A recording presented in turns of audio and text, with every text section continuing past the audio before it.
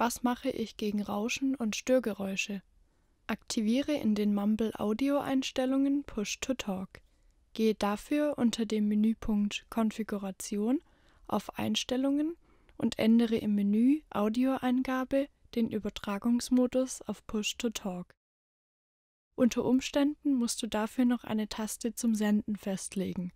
Gehe zum Menü Tastenkürzel und füge ein neues Tastenkürzel für Push to Talk dazu. Warum hören mich andere abgehackt oder mit aussetzendem Ton? Deine Sprachaktivierung könnte zu unempfindlich eingestellt sein.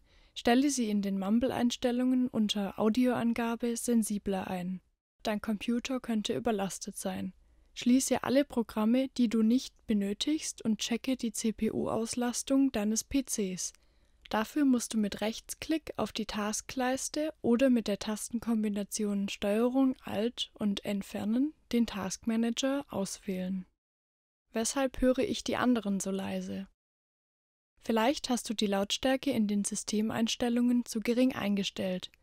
Klicke mit Rechtsklick unten auf das Lautsprechersymbol und wähle Soundeinstellungen öffnen. Alternativ kannst du auch die Lautstärke deines derzeit ausgewählten Geräts mit einem einfachen Linksklick auf das Lautsprechersymbol erhöhen. Wieso bin ich nicht zu hören? Vielleicht bist du in Mumble nicht im richtigen Kanal.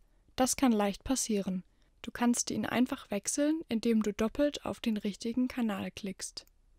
Das Mikrofon deines Headsets könnte stumm geschaltet sein. In Mumble ist dann das normalerweise grüne Mikrofonsymbol rot und durchgestrichen. Klicke einmal auf diese Schaltfläche, um das Mikrofon wieder zu aktivieren. Überprüfe, ob das Mumble-Zeichen in der Leiste rechts unten blau leuchtet, wenn du sprichst.